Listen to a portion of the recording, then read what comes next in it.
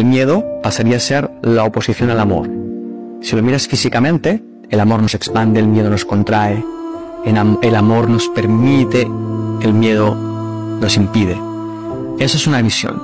Pero cuando indagas y entras y empiezas a tocar el miedo y a sentir el miedo, y empiezas a mirar al amor y empiezas a tocar el amor y a sentir, te das cuenta de que el miedo es amor ignorado. Y cuando te das cuenta de esto, es como, a ver, amor ignorado, ok, ¿de qué tengo miedo? De esto, vale, un momento. Es una parte de mi capacidad de amar que no estoy usando porque la he extirpado por una idea que predomina en mi mente. Ok, y ahí empieza todo un movimiento de decisiones.